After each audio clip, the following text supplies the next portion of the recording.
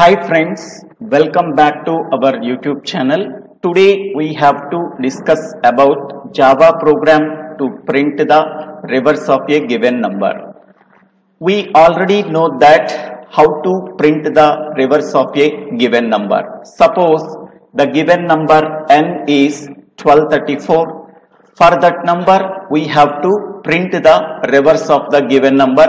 The reverse of the given number is 4321. That means every digit in that number can be printed in reverse order. So then we are getting the reverse of a given number. So how to write this program in Java? First, the given number can be read from the keyboard by using scanner class. So scanner class is used for reading the input from the keyboard. For that purpose, we have to use import statement. So by using import statement, we have to import util package. In that util package, we have to import scanner class.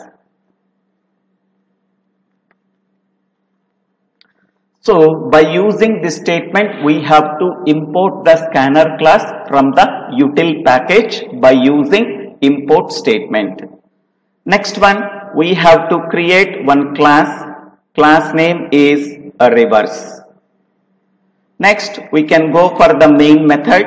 The main method is public static void main string arguments. So every Java program execution starts with a main method.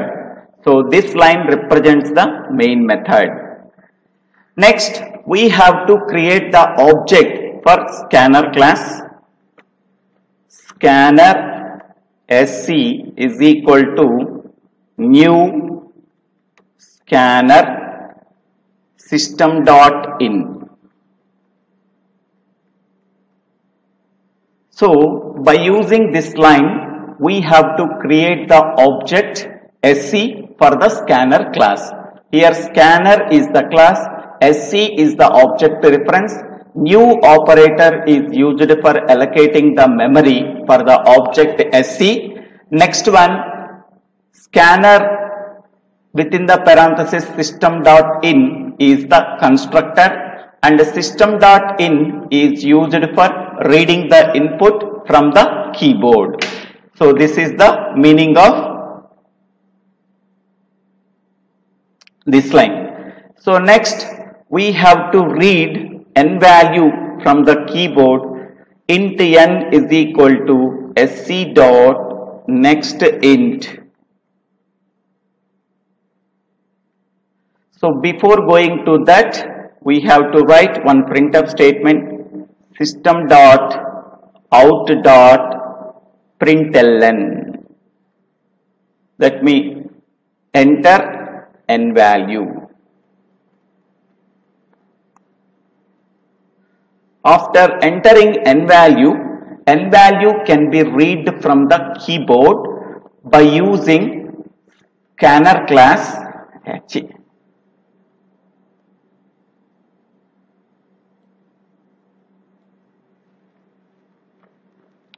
Next, system dot out dot println enter n value.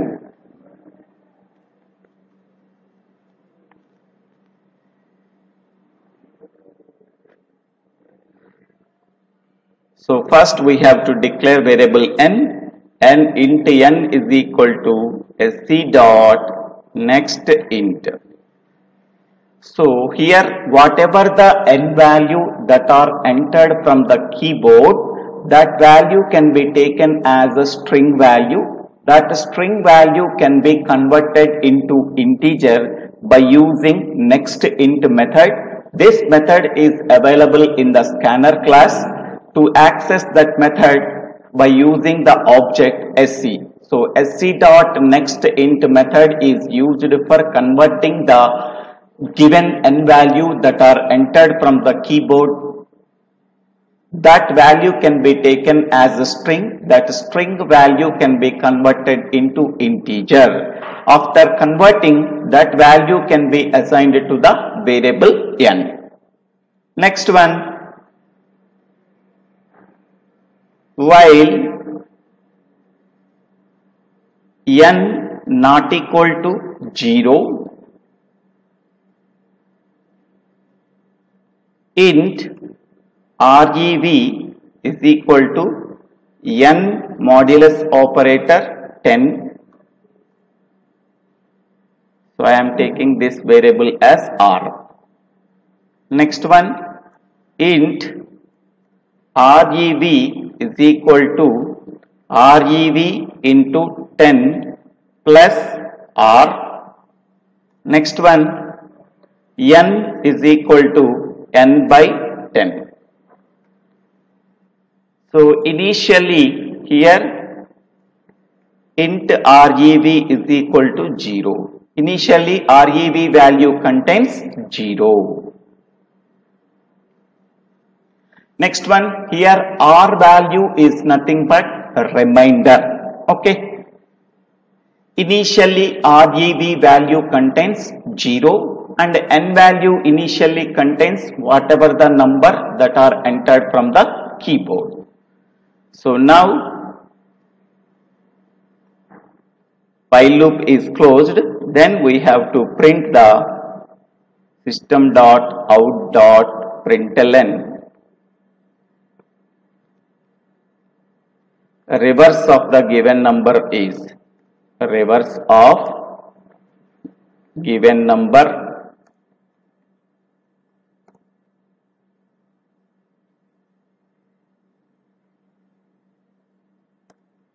is plus REV. Finally, the reverse of the given number is stored in variable REV. Now we have to print that RE value. So main method close and class is closed. Okay. So now we have to save this program. Reverse dot Java. Yes. Now we have to compile the program. So Java C reverse dot Java.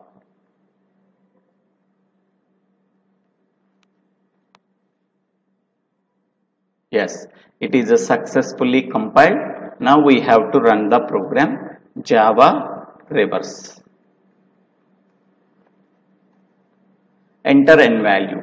I am giving n value is 1234. Reverse of given number is 4321. Again I am running the program Java reverse. Enter n value is 3467. So reverse of the given number is 7643. So in this way we have to execute our program. Now what is the logic behind here? So first I am giving n value is equal to 1234. Okay. So now here 1234 not equal to 0. So condition true. If this condition is true then the control goes to the body of the while loop and execute this three statements. So here first R value we are getting as 1234 modulus operator 10. So what is the value we are getting?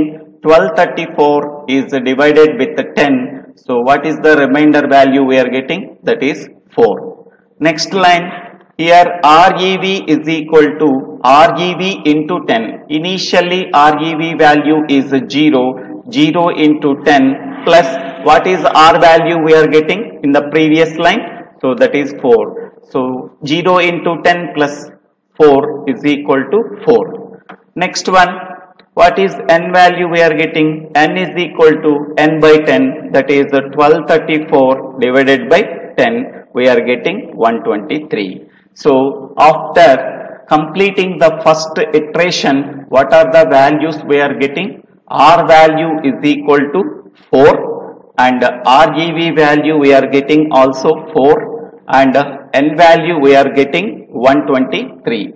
Again we have to check the condition.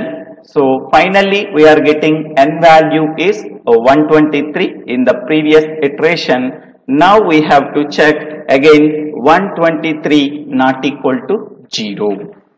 So 123 not equal to 0 condition true. If the condition is true then again control goes to the body of the while loop and execute the statement within the while loop. First R is equal to n modulus operator 10. So now in this case what is n value? n value is 123. So 123 modulus operator 10. So 123 can be divided with 10. What is the remainder value we are getting? Remainder value is 3 we are getting. Next REV is equal to REV into 10 plus R. In the previous iteration REV value is 4. So 4 into 10 plus R value in the above line we are getting that is 3. 4 into 10 plus 3 that is equal to 43. Next one n is equal to n by 10 n value now 123 so 123 divided by 10 so we are getting 12. So after completing the second iteration what are the values we are getting r value is 3 rev value is 43 n value is 12. Again we have to check the condition. So n value is 12. Now 12 not equal to 0 condition true if this condition is true the control goes to the body of the while loop and execute these three statements. R is equal to n modulus operator 10 what is n value here? N value is 12 so 12 modulus operator 10 12 can be divided with 10 what is the remainder value we are getting? That is 2 Next one, REV is equal to REV into 10 plus R. What is the REV value in the previous iteration? That is the 43. Now REV into 10. So 43 into 10 plus R. What is the R value we are getting in the above line? That is 2. 43 into 10 plus 2 we are getting 432. Next one, n is equal to n by 10, n value 12 12 by 10. 12 by 10 we are getting only 1. After completing the third iteration, what are the values we are getting? R value 2, REV value 432, N value is 1. Again we have to check the condition. So N value is 1, 1 not equal to 3, 1 not equal to 0. Condition true. If this condition is true, then the control goes to the body of the while loop and execute the statements within the while loop. R is equal to n modulus operator 10. What is n value here? 1. So 1 modulus operator 10. So 10 can be divided with 1. What is the result we are getting? That is 1. Next one. REV is equal to REV into 10 plus R. Previous iteration what is REV value? 432. Now REV into 10 means 432 into 10 plus what is R value we are getting in the above line 1. So 432 into 10 plus 1 is 4321. Next one n is equal to n by 10 n value 1 so that is 1 by 10 1 by 10 is nothing but 0. Again we have to check this condition so here n value 0 so 0 not equal to 0 that is false. So when the condition is false, the control goes to the statement after the while loop. So here the while loop starts here, here the while loop ends here. The next statement is system dot out dot println reverse of given number is plus REV. Finally in the REV what is the value is that that is 4321. So given number is 1234 Finally, we are getting REV value is 4321. So, this is the explanation of logic of reverse of a given number. Now, this is the program and that is the logic. Thank you. Thank you one and all for watching this video. If you like this video, please click on the like button after subscribing my YouTube channel Divvela Srinivas Rao and please share this video to your friends and classmates. If you have any doubts, please put your doubts in the comment section. I will clarify your doubts. Thank you. Thank you one and all for watching this video.